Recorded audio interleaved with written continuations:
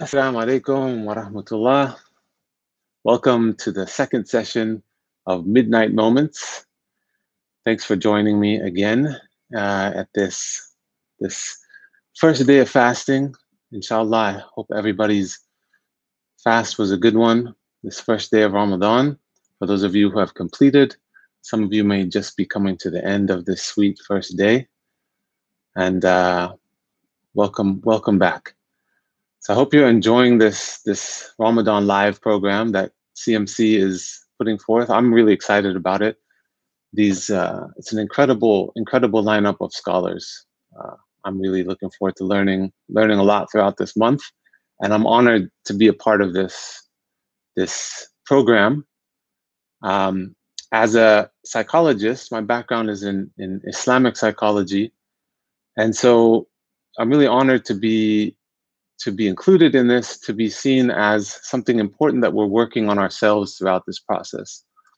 Um, so it's, it's important that we put into context our deen with personal improvement, personal development. And this is something that I love about Cambridge Muslim College is that the programs are not just about studying books. It's not just about understanding Islam as this static thing, but it's something that is applicable and applicable in these contemporary times. And so it's important that we are we come into relationship with Islam in this way, so that it's this this living thing that is applied to our lives. We are all works in progress. We're all in development and we are constantly changing states. So the state that we're all trying to achieve and to move towards and to develop into is a state of Islam. So rather than it being just a religion that we come to to learn and we have this uh, distant relationship, really understanding how this knowledge can impress upon our process, our process of development. And so today we're going to be talking about presence, hudur in the Arabic, and this concept of presence and how important it is in related to our development. Um, being present is is how we really can truly come into submission. So how we can be in in Islam in a state of Islam is by being present with Allah's reality, being present to be able to submit to what is in this moment. Allah's reality exists in the here and now, right? So, this notion that we have of the past and the future is something that we occupy ourselves with because of our orientation to our experience and time but in Allah's reality, it exists in the here and now, right? And we often live everywhere else but the here and now. We are uh, constantly thinking about something in the past that we are regretful of and causing anxiety and worried about what's going to happen in the future and in a state of fear and living in these different places uh, doesn't allow us to be present for what is what is here with us and what Allah is unfolding in each moment.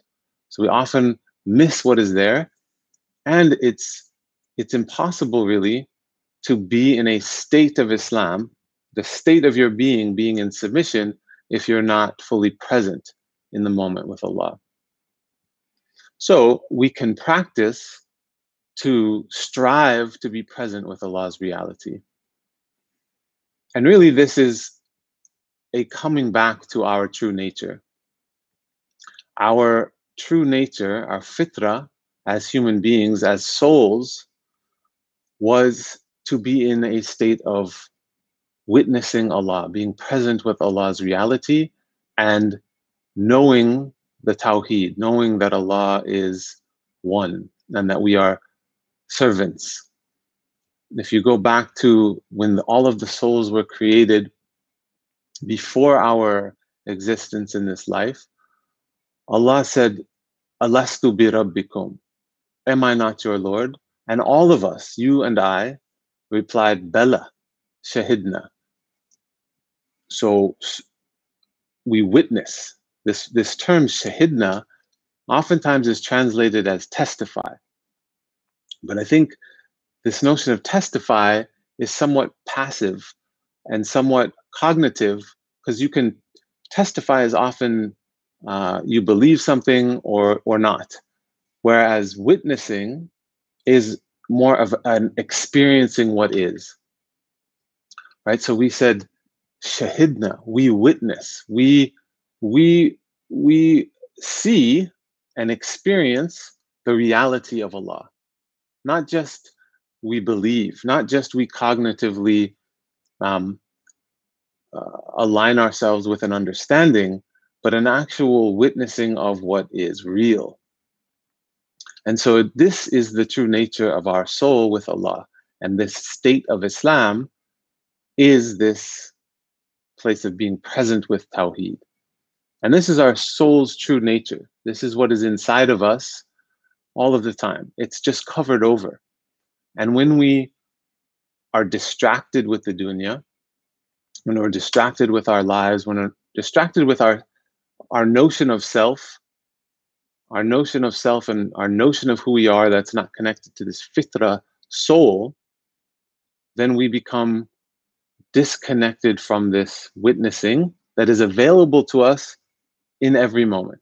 Essentially, in each moment, we can be present with that reality of Tawheed. And so our ability to be present with Allah is really based on our state, right? So we cannot necessarily be present fully with Allah to, to His full uh, reality because he's, Allah's reality is so much larger than, than our ability to perceive it. But what we can be fully present with, with work, is to be present to ourselves or present with ourselves, which opens the door to this presence with Allah and opens the door to this original state of witnessing. And so it's this experience, this, this coming into being, coming into a place of being present with what is and experiencing what is there. And, and really the first gateway to experiencing Allah's reality as it is unfolded is experiencing what is in ourselves. Um, we come to be present with ourselves and come to understand and experience what we're holding in our hearts. We often don't do this. We often are focused externally. We're focused on uh, understanding from up here. We're uh, connected to logic and reason more than we're connected to an experience of uh, of of using our heart to understand. And we'll talk more about this in other sessions. This notion of the of the ability of the qalb to reason, to understand, and this is where the seat of consciousness is. And so the first step in in polishing our hearts because our work really is uncovering these this crust on our hearts so that we can be able to come back to this original witnessing. But first we have to be present with what is in our hearts. And present even sometimes with our hearts at all.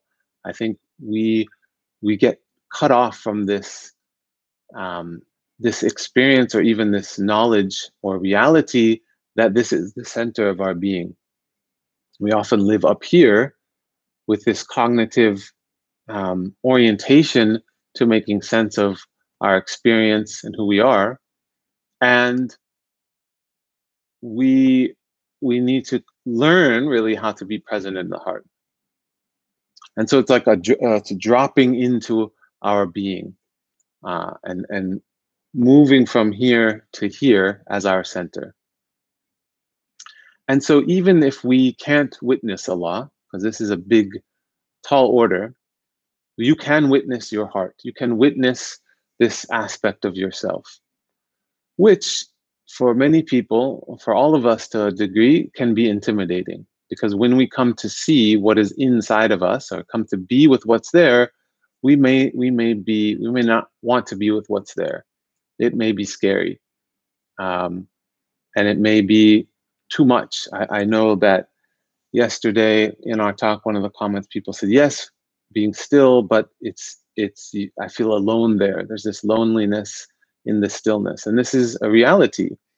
Um, and there's something that we have to come to terms with that lonely, loneliness, and really we have to come to terms with whatever is present in our hearts. And this is the idea: is is is coming into this place of presence to be with what is, because what is there is what Allah has uh, manifested, what Allah has created, and so therefore there's something there for you to surrender to. And why, when we're in these state, this states of, of, of cultivating presence, we're not on our own. We're not alone. And so we're not only completely relying on what we come up with and trying to deal with what comes up there. This is why we bring in dhikr of Allah. We remember Allah when we're in these states of presence to uh, receive this this mercy and to know that Allah is the one that is going to change our hearts. Our job is to open them and to be in a state of surrender so that we can be moved and we can grow and we could develop. So it's this understanding of dhikr, the remembrance of Allah in the heart to penetrate our hearts.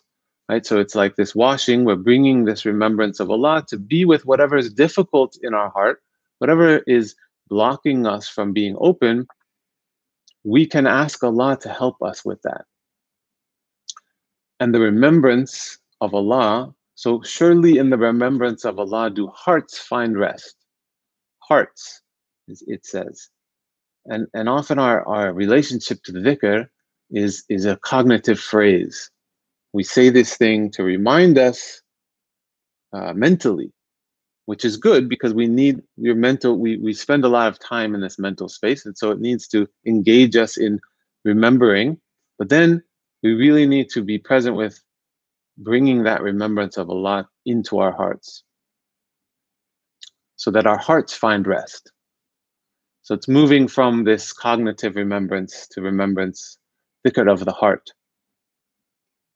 And presence cultivating presence is really useful for this purpose so that we can have this deeper relationship to uh, bringing the remembrance of Allah into our hearts and becoming familiar with this place of stillness allows for Allah to unfold what there is for you to unfold in your in your growth and development